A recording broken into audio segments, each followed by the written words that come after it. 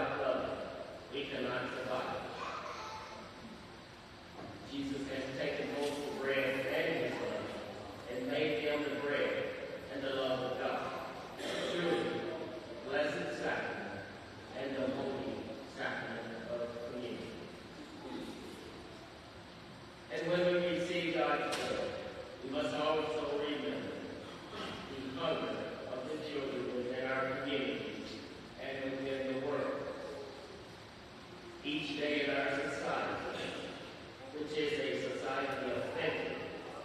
There are so many people who still die of hunger. And if our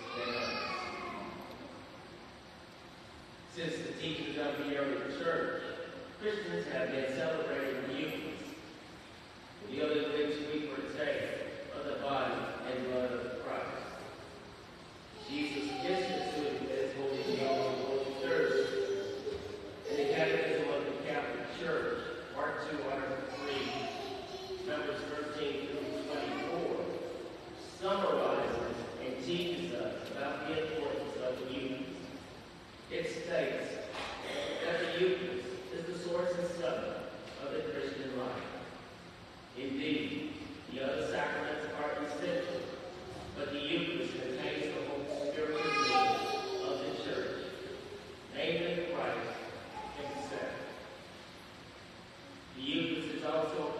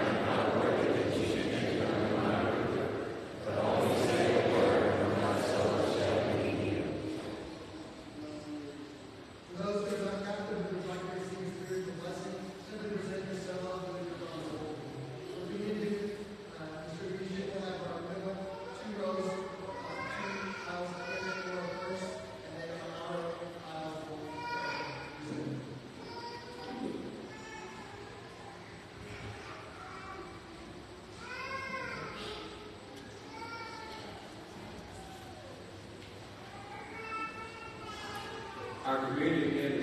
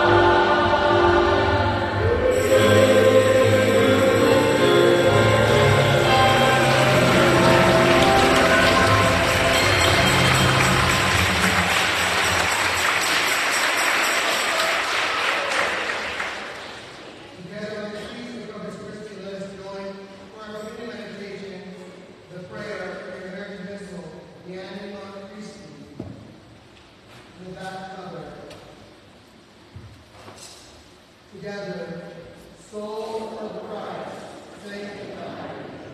Body